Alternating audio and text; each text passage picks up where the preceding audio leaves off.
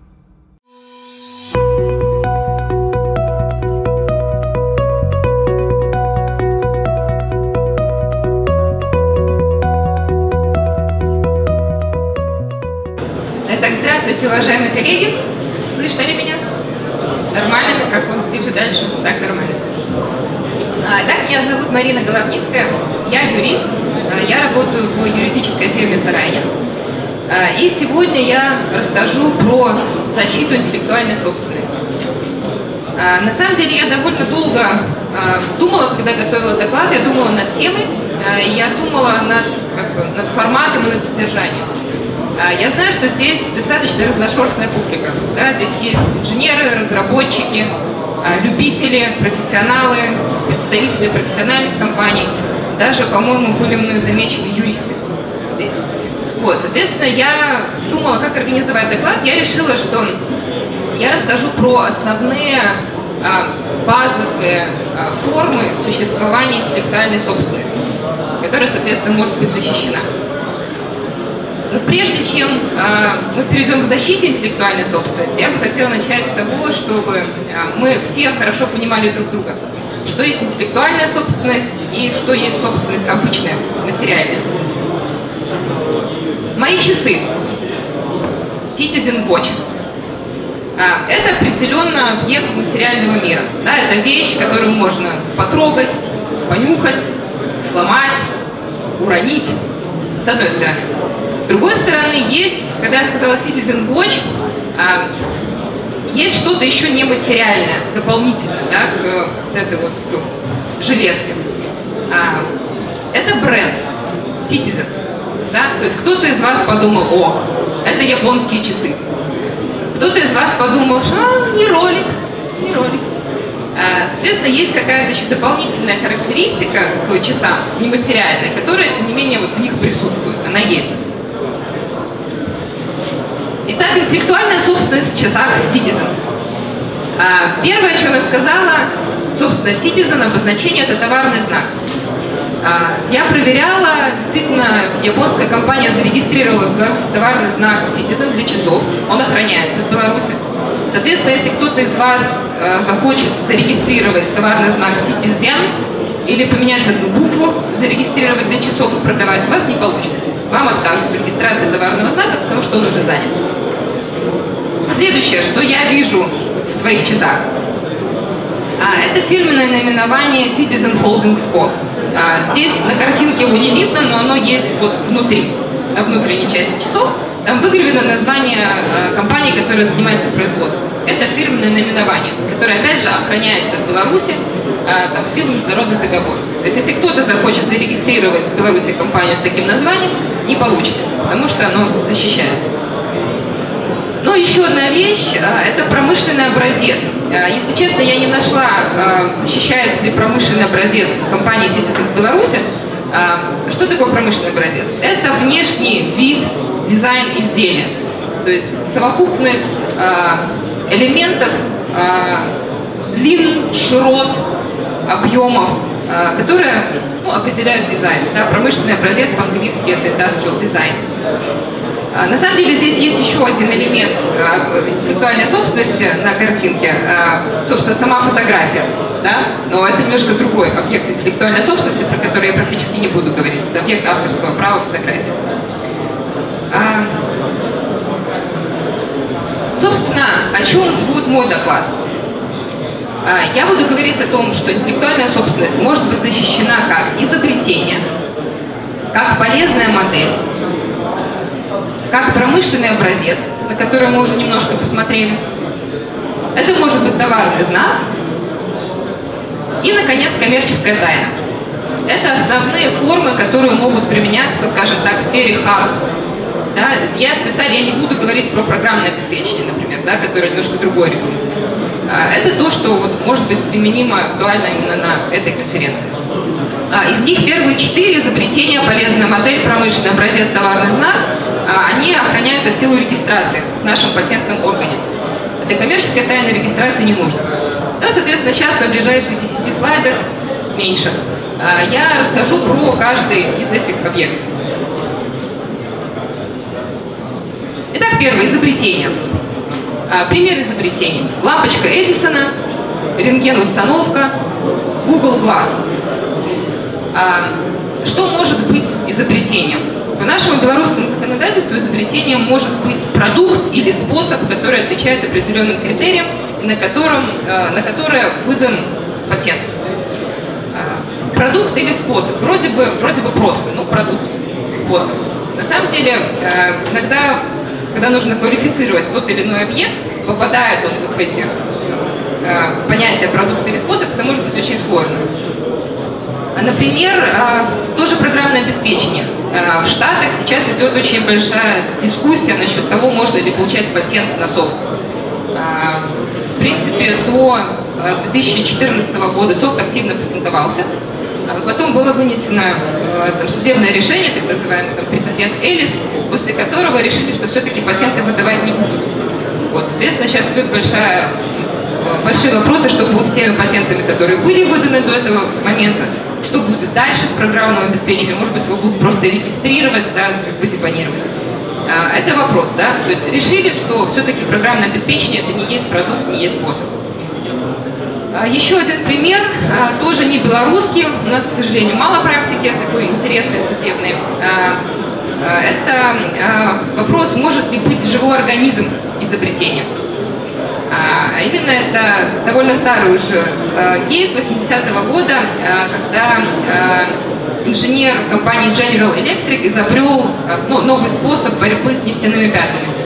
Он изобрел бактерии, которые в процессе своей жизнедеятельности, они, сказать по-научнее, поглощали, поглощали нефть.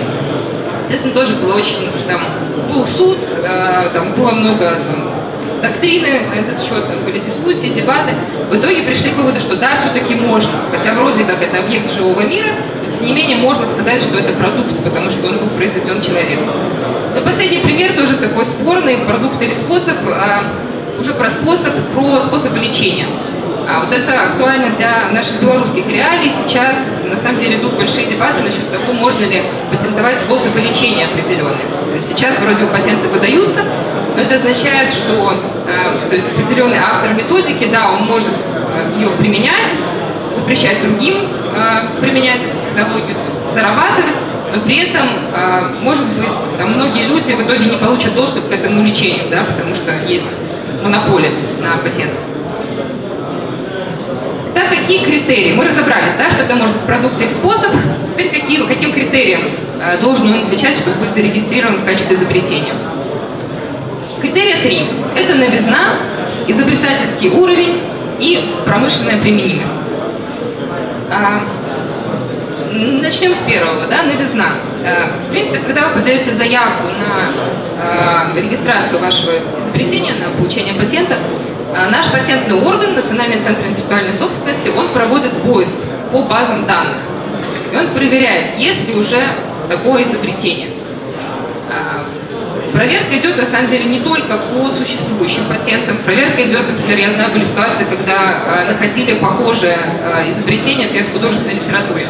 Оно уже было описано, соответственно, э, ну, там, э, человеку, который подавал, пытался зарегистрировать его в качестве собственного изобретения, было отказано по причине э, того, что это не был новый объект. А здесь нужно иметь в виду, что после того, как вы раскрываете ваше изобретение публике, например, представляете на конференции или публикация какая-то происходит, у вас начинается отсчет срока 12 месяцев, в течение которого вы можете подать а, заявку на патент и зарегистрировать изобретение в качестве, э, ну, получить патент на изобретение. После истечения этого льготного годичного срока ваше изобретение поступает в так называемый технический уровень, общий, ну и по сути то есть не принадлежит никому. А вы не сможете получить патент, потому что ваше собственное изобретение вам будет противопоставлено. А следующий, изобретательский уровень. А что это такое? Это критерий, который означает, что изобретение не очевидно для среднего специалиста в этой области. Вот этот изобретательский уровень – это то, что отличает изобретение от, например, полезной модели, о которой сейчас будем. Ну и последняя промышленная применимость, на самом деле, самый простой критерий. Здесь не нужно доказывать полезность, не нужно доказывать какой-то экономический эффект положительный. Достаточно доказать, что оно просто может использоваться. Немножко по процедуре, а, длительность процедуры, сколько, мы, сколько нужно времени, чтобы получить патент. Это 1, 2, 3 года. Это достаточно долгая процедура. А, зависит от большого количества факторов, да, от специфики изобретения, там, от того, пытаетесь вы ускорить процесс или нет. В среднем ориентировочно, просто для порядка цифр. А стоимость тоже очень ориентировочно, чтобы вы представляли а, порядок. 50 долларов это 500 долларов это получение патента, и затем 5,5 тысяч долларов это поддержание его в силе в течение максимального срока действия. Здесь учитываются только госпошлины. Я здесь не учитывала а, оплату, например, патентных поверенных, которым обычно, а, к услугам которых обычно прибегают при патентовании. А, с патентными поверенными это будет 500 долларов получения, плюс примерно столько же это будет фи а, плата патентного поверенного. Ну, последний срок действия 20 лет. А, максимум для некоторых изобретений срок может быть продлен еще на 5 лет. А, это, например, для фармапрепаратов. А, потому что для того, чтобы начать использование вашего изобретения, вам нужно пройти процедуру регистрации в Минздраве, получить удостоверение. Соответственно, законодательство предусматривает вот такой, а, ну, возможность еще продления да, на 5 лет. Но основной срок это 20 лет. Соответственно, по истечении этого срока патент перестает действовать, кто угодно может использовать ваше изобретение. Ну, на самом деле, здесь довольно интересная есть там практика, например, фарм-промышленности, а, когда Big Pharma, а, да, когда истекает срок действия на какой-то оригинальный препарат, и, в принципе, уже там в, там, в 12 ночи стоят фуры конкурентов, которые загружены доверху дженериками, которые вот ждут 12 часов, чтобы поехать и запускать э, дженерики э, как бы на рынок, да, на реализацию.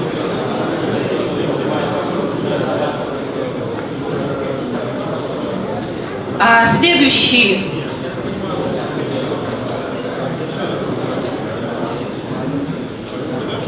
Да, отлично. А, так мы поговорили про изобретение. Следующая полезная модель. Примеры полезной модели. Сейф, а, нож, который используется в швейцарской армии, и холодильник, который одновременно представляет собой витрину.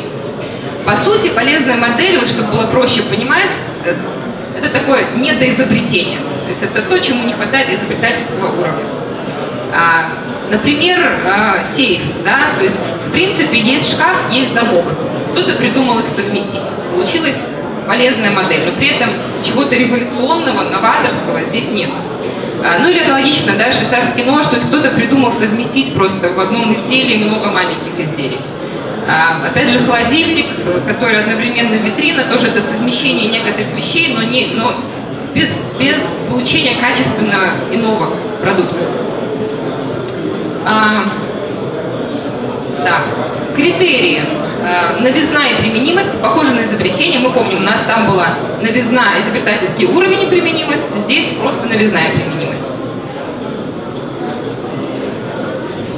А длительность процедуры получения патента на полезную модель 3-4 месяца, даже, наверное, 3 месяца, то есть гораздо, гораздо, гораздо проще получить, чем патентное изобретение. Стоимость 250 долларов, опять же, ориентировочно, без услуг патентных поверенных. Плюс 850 долларов – это поддержание в силе на протяжении всего срока, который может составлять максимально 5 лет, плюс потом вы можете продлить еще на 3 года. Три года это не есть вот то исключение, которое для патентов, да, там где было 5 лет для отдельных категорий. Три года это в принципе просто у вас 5 лет истекло, вы думаете, вам нужно еще 3 года или нет, вы можете продлить без специальных требований. А, отличие, а, то есть почему такая процедура короткая, почему так просто? Потому что наш патентный орган не проводит экспертизу по существу. То есть если патент действительно проверяется э, на соответствие критериям, то здесь действует презумпция того, что если вы это заявляете, то у вас это новое промышленно применимо. Соответственно, потом это будет задача конкурентов доказывать, что на самом деле это было не так. Двигаемся к следующему объекту. Двигаемся. Промышленный образец. А, да, вот мы видим часы, про которые я уже успела поговорить. А, внешний вид да, кроссовки, а, внешний вид автомобиля. Что такое промышленный образец? Это а, некое художественное, конструкторское, дизайнерское решение внешнего вида изделия. А, опять же, на промышленный образец получается, нужно получать патент, регистрировать его в нашем патентном органе для того, чтобы он охранялся. Критерии. Новизна и оригинальность. Ну, с новизной тоже, в принципе, разобрали это понятие. А по оригинальности требования нужно, чтобы промышленный образец был разработан творческим трудом автора. Более четкие критерии, что такое творческий, не творческий, не установлены. Естественно, тоже на этот счет могут быть и инсинуации, и вопросы. А длительность процедуры получения патента на промышленный образец – это 8-10 месяцев. Стоимость 250 долларов за получение и 2000 за поддержание в силе на максимальный срок, который составляет 10 лет и возможность продления 5 лет. Да, то есть похоже на полезную модель, предыдущий слайд помним, да, там было 5 лет плюс 3 года, здесь э, 10 э, лет плюс 5 лет.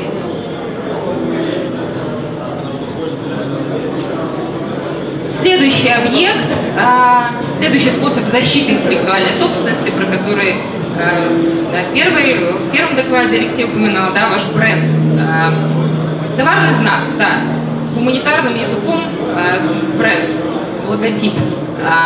Примеры товарных знаков. Citizen, словесное обозначение. Nike, да, мы видели на, на прошлом слайде, мы видели кроссовки Nike общий внешний вид кроссовок, это может быть промышленный образец, а вот эта вот птичка, соответственно, это товарный знак. Ну и пример тоже Intel, это комбинированный товарный знак, здесь сочетает э, словесное обозначение и немножко э, изобразительный элемент. Какие критерии для регистрации э, обозначения в качестве товарного знака? Ну, я написала отсутствие оснований для отказа, э, наверное, так проще всего было сформулировать для цели презентации. У нас действительно нет а, каких-то требований, которым он должен соответствовать товарный знак. Нужно, наоборот, чтобы он не попадал в какие-то а, запрещенные категории. Ну, например, нельзя регистрировать товарные знаки со словом «Республика Беларусь». Или, например, нельзя регистрировать товарные знаки, которые противоречат э, морали нравственности. Например, нельзя регистрировать товарные знаки, которые сходны с, с теми товарными знаками, которые уже зарегистрированы. Да, опять же, пример Citizen. Если мы пробуем изменить одну букву и зарегистрировать, скорее всего, не получится, потому что патентный орган увидит, что он уже занят этот товарный знак. А, как я сказала, регистрируются обозначения, регистрируются изображения, а, регистрируются объемные товарные знаки. На самом деле здесь может быть пересечение, в принципе, один объект может быть зарегистрирован как товарный знак, так и промышленный образец. А, в мировой практике есть другие объекты, которые могут быть зарегистрированы как товарный знак, Например, ароматические товарные знаки. Это очень интересная штука, но у нас, к сожалению, а, пока нет технических средств, которые позволяли бы ну, обеспечить их регистрацию и учет особенно да, таких товарных знаков. А длительность процедуры получения свидетельства на товарный знак – это от 7 месяцев до 2 лет.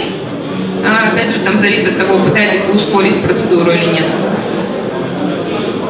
Стоимость 700 долларов получения плюс 700 долларов продления и срок действия а, срок действия свидетельства 10 лет, и он может быть, э, товарный знак э, охраняться, в общем-то, бесконечно. То есть это вот тот редкий объект интеллектуальной собственности, который просто платите 700 долларов каждый раз и управляете его э, сколько захотите.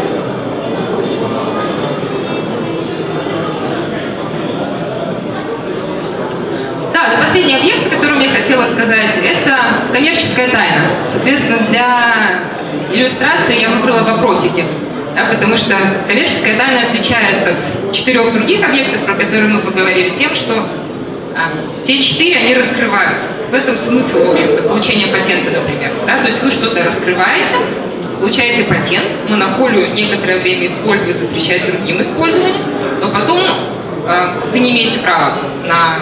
Ну, то есть вы э, после того, как патент прекращает свое действие, вы теряете это монопольное право. Да? Вы можете по-прежнему использовать ваше изобретение, но не можете запрещать другим. Коммерческая тайна другая. То есть коммерческая тайна – это то, что предприятие хочет сохранить в тайне от всех. Да, что может относиться к коммерческой тайне, и когда ее как бы, логично применять? Например, когда у вас есть какие-то разработки, у вас есть ноу-хау, вы, например, собираетесь патентовать, но пока еще патент не получили. Соответственно, вот эта информация, она может охраняться в режиме коммерческой тайны. Какие требования? Да, здесь не нужно идти в патентный орган, не нужно ничего регистрировать. А у нас есть одноименный закон о коммерческой тайне, где хорошо прописано, как бы, что нужно сделать для того, чтобы коммерческая тайна работала. Для этого основной критерий – это установление режима коммерческой тайны. То есть на предприятии должны быть приняты организационные, технические и правовые меры, а, которые, например, включают ограничение доступа к определенным объектам, установление парольной защиты на компьютерах, а, например, а, наличие правильно оформленных документов, это положение коммерческой тайны обычно, в котором определяется, что входит в состав коммерческой тайны, кто имеет право допуска к ней, какие лица ответственны за поддержание режима коммерческой тайны. Ну и плюс важно это заключение договоров с контрагентами и с работниками. С договорами заключаются соглашения о конфиденциальности, с работниками обязательства о неразглашении. Вот если есть весь этот пакет документов, то, в принципе, информация может охраняться, быть коммерческой тайной. Соответственно, процедуры по сути, законодательства нету, я имею в виду процедуры регистрации формальной. Стоимость бесплатная, срок действия не ограничен. То есть это такой самый дешевый и сердитый способ охраны ваших разработок, пока вы не получили, например, патент.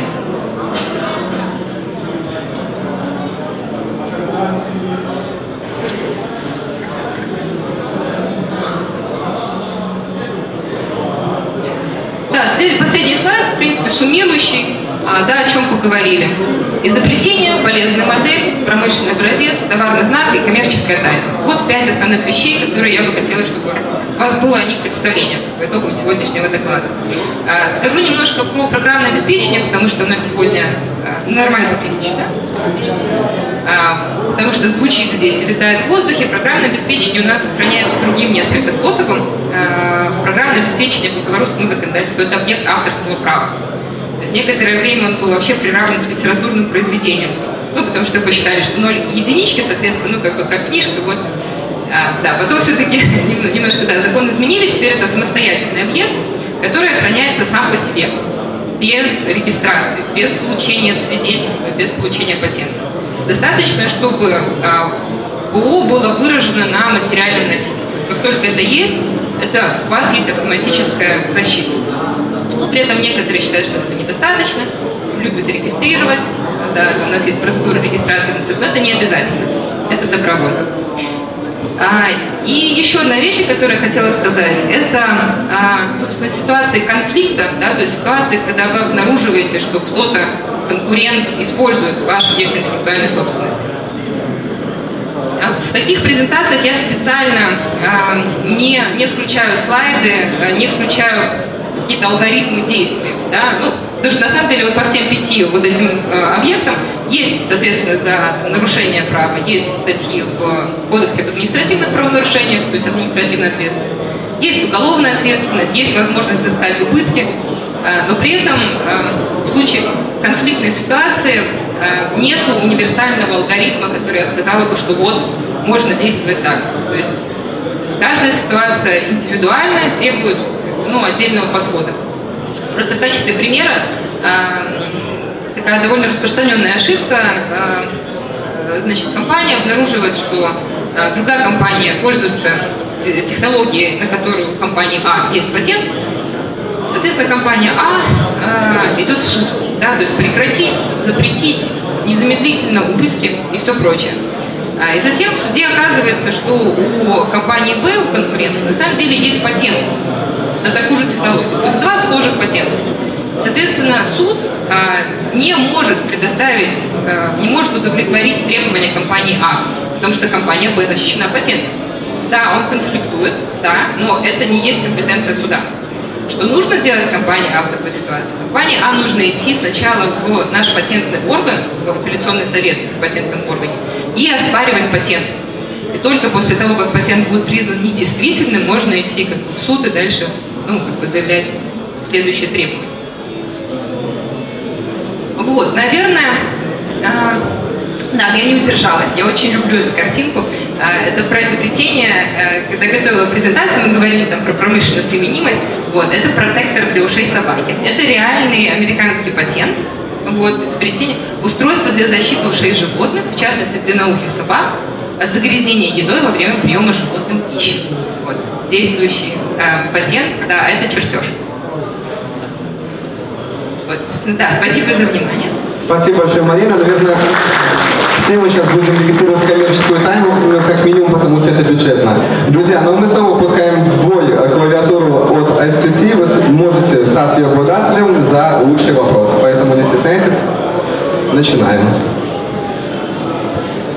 А, Марина, здравствуйте, спасибо за доклад. Меня зовут Антон. И, собственно, я хотел просто, скажем, уточнить такую информацию, если же я, как изобретатель, а, изобрел какое-то устройство, и в порыве доброй воли а, для усовершенствования его я его в общий доступ выкладываю, никак не патентую, и, как говорю, комьюнити, пожалуйста, разрабатывайте дальше, я буду только за. Может ли в дальнейшем так случиться, что кто-то его там доделает, или это же мое самое устройство, просто запатентует, и потом ко мне будут э, претензии, как э, ну, производителю такого устройства, которое уже защищено патентом кем-то позже. Вы сказали, что есть исследование, если устройство было там где-то опубликовано, если там какой-то писатель-фантаст его описал где-то, не знаю, когда-то. А, могу ли я попасть как бы в зону риска того, что на меня потом подадут в суд как за производителя устройства, защищенного патентом? Спасибо. А, да, такой риск есть. А, ну, в описанной ситуации я бы сказала, что вот это а, там условная там, недобросовестная компания Б, которая будет получать патент, по-хорошему она не сможет запатентовать прямо то, что вы описали в публикации. По-хорошему наш патентный орган должен это увидеть и отказать в патенте. Но дело в том, что можно, как вы, вы сказали, можно доработать, изменить, а, и, соответственно, ну, в принципе, да, такой риск есть. То есть они могут получить патент и потом вам предъявлять претензии. Это возможно. Но априори говорить, что я не претендую на какие-то дивиденды. Ну, чтобы ко мне не было претензий, но и я как бы, открыт для новых идей, сказать. Ну, наличие патента, э, в принципе, означает, что вы можете делать все, что угодно с вашим изобретением. Вы можете его продать, а вы можете дать, сделать лицензию, да, то есть сдать его в аренду кому-то. Вы можете вообще ничего не делать, да, то есть, в принципе, это ваше право. Добрый день. Меня зовут Сергей. Спасибо за доклад, интересно. А, а, такая ситуация. А, допустим, я работаю на том же заводе Citizen, котором, на котором делают ваши часы. У меня есть договор о а, неразглашении или что-то еще. И э, Citizen выпускает часы, много патентов, которые принадлежат фирме Citizen. Но параллельно я придумал новые часы, да, с какой-то новизной тоже, вот, которые тоже обладают патентной способностью. Могу ли я, как инженер, работающий на заводе Citizen, э, запатентовать параллельно э, совершенно вот на себя какое-то новое изобретение, схожее с тем, которое э, выпускает, там, разрабатывает, производит э, фирма работодатель? Спасибо. Да, спасибо. Хороший вопрос, интересный. Э, сразу много тем затронули. А, ну, во-первых, если вы работаете на заводе Citizen, то, соответственно, все вопросы будут решаться по праву Японии. А, но если, допустим, мы предположим, что мы применяем белорусское право, а, у нас есть такое понятие, как служебное произведение или служебное изобретение. Это тот объект, который разработан работниками, простите за тавтологию немножко, а, и права на получение патента в отношении этого изобретения автоматически переходят нанимателю при определенных условиях. То есть при том, что этот объект относится к вашим а, должностным обязанностям, выполнен, например, по заданию нанимателя, или выполнен и разработан с использованием оборудования, техники, знаний нанимателя. Соответственно, да, соответственно, если в вашей ситуации вы разработали эти часы а, дома ночью на своем лэптопе, а, и если у вас не было задания, да, ваш наниматель вам это задание не давал разработать такие часы, то в в принципе, да, вы можете подать патент и зарегистрировать. Очень плохо слышно.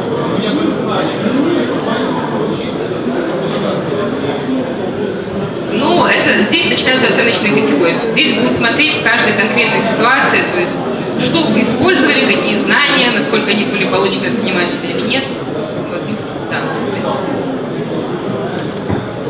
Зовут Сергей. Вопрос по э, области действия патентов. Мы, вы озвучили нам стоимости, цифры какие-то. Этот пат- патент, который мы э, обсуждаем, он работает только на территории Республики Беларусь? Да.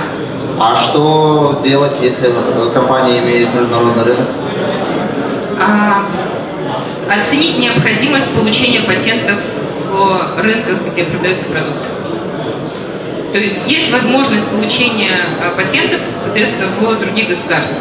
А, Сегодня уже звучала процедура, да, из АВАК, по-моему, коллеги говорили про PCT-шки, да, то есть есть возможность а, получения патента через наш белорусский патентный орган, а, то есть вы подаете документы, вы говорите, я хочу распространить как бы, действие своего патента на, на страны там, А, Б, С, Д. Соответственно, сначала наш белорусский патентный орган проводит формальную экспертизу вашей заявки, затем, если она проходит, если все документы в порядке, полный комплект, то он, соответственно, переходит на стадию а, экспертизы в тех государствах, в которых вы хотите получить патент. Во времени это занимает примерно тоже 2-3 года, ну, может зависеть на самом деле от, там, от юрисдикции, но просто ориентировочные, да, примерно э, сроки. По стоимости, опять же, очень зависит от стран. Допустим, в США, наверное, это будет около 50 тысяч долларов, а в ЕС это будет около 30. Ну, ориентировочно, зависит, но примерно. Если можно второй вопрос э, по поводу положения коммерческой тайны. Э, Если есть установлен факт нарушения сотрудником либо субподрядчиком, э, как фактически подать иск в суд, как оценить ущерб? Есть ли механизмы, которые это регламентируют? А, значит, в такой ситуации ну, есть, есть как бы дв- два механизма, да, есть два направления. Есть направление привлечения к ответственности, к административной, ну или даже к уголовной, но у нас по уголовной точно практики нет, а, в административной ответственности. То есть будет штраф. А, Это одно направление. Второе направление – это насколько вы можете взыскать убытки, да, которые принесло ваше предприятие. Вот здесь очень сложно, потому что доказать убытки, а, особенно упущенную выгоду, то есть что вы потеряли, чтобы вы могли а, как- какой, доход приобрести, если бы не была разглашена коммерческая тайна. А, Доказывать очень сложно. Поэтому, в принципе, по коммерческой тайне ну, как бы мы рекомендуем а, заключать соглашения с контрагентами, с работниками, в которых прописывать штрафы за разглашение коммерческой тайны. Если у вас есть штраф, то вам не нужно будет доказывать убытки. Но есть же ограничения по штрафам для физлиц, а для юрлиц есть ограничения? А по поводу ограничений, прямо ограничений у нас не установлено по штрафу. У нас есть, ну, у нас, во-первых, нету четкой практики сформированной. То есть, насколько это будет исполнимо в суде, вот тоже вопрос. А, Но, ну, то есть мое там, личное мнение, что нужно пробовать, нужно прописывать это- эти штрафы. Ограничений нету, но нужно понимать, что наш суд может уменьшить размер штрафа, если посчитает его а, необоснованным или неразумным. Здесь это усмотрение суда тоже ну, в конкретной ситуации будет решено. То есть фактически это просто договор, который практически не имеет никакой силы. Нет, почему? Он имеет силу. Ну. Фактически нет, доказать стоимость обосновать нельзя, и все зависит только от мнения судьи. Нет, а, не вполне так. В договоре вы можете а, согласиться о том, что а, вы устанавливаете такой-то размер штрафа. Этот договор, он обязателен для вас. Но могут быть определенные нюансы при исполнении этого в суде. То есть у нас как бы, судебная система построена так, что штраф может быть уменьшен судом. Ну и плюс оговорка, да, что у нас, к сожалению, нет практики по коммерческой тайне. То есть мы с юристами вот очень хотим, что- чтобы была практика наработана, но пока это, то есть это немножко такое ружье, которое висит на сцене, которое должно выстрелить, но пока не очень стреляет в плане. Поэтому это должно работать, но есть оговорки. Да.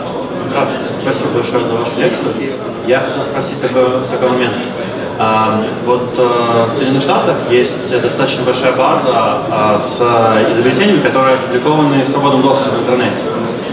И, допустим, вот мы предположим ситуацию, что какой-нибудь недобросовестный инженер, который знает английский язык хорошо, разбирается значит, в технических терминах и так далее, он скомпилировал несколько значит, э, изобретений, они не зарегистрированы в Республике Беларусь, и подает э, значит, э, здесь, в Беларуси, вот, что это его изобретение. А какие могут быть последствия после этого, и особенно если, например, человек решил подать на евразийский патент. Э, то есть какие последствия, ну, например, реального правообладателя вот этих патентов, как э, будут выясняться, это, это реальное изобретение, которое имеет какую-то новизну или это просто компиляция? Вот, вот. А, в этой ситуации это будет предмет экспертизы нашим патентным органам. То есть он будет смотреть на заявку, он будет сравнивать. Он будет сравнивать формулу изобретения, он будет сравнивать основные элементы, насколько они отличаются.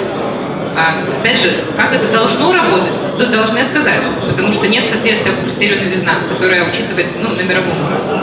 А, на практике есть человеческие ошибки, есть э, несовершенство системы поиска, то есть, в принципе, есть вероятность, что патент может быть зарегистрирован. А в такой ситуации э, какие могут быть дальше последствия развития событий?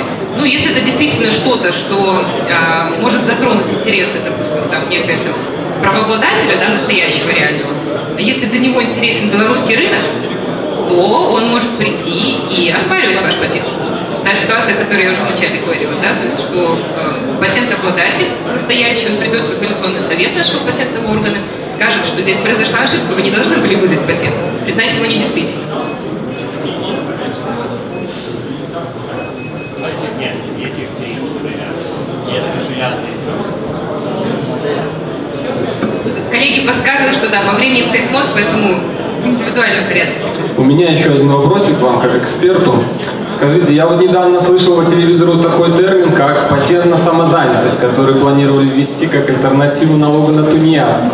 Могли бы вы прокомментировать, к какой категории он относится и вообще, как там будут работать все эти механизмы, вот особенно срок давности, какой у него будет? Спасибо.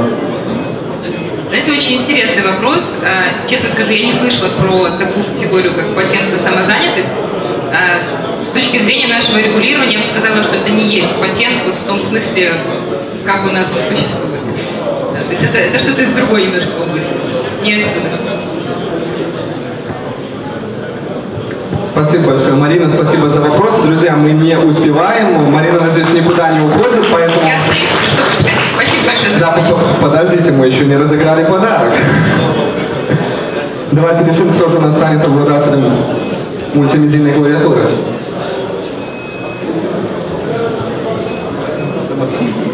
А вот молодой человек, который второй задавал вопрос. Подходите.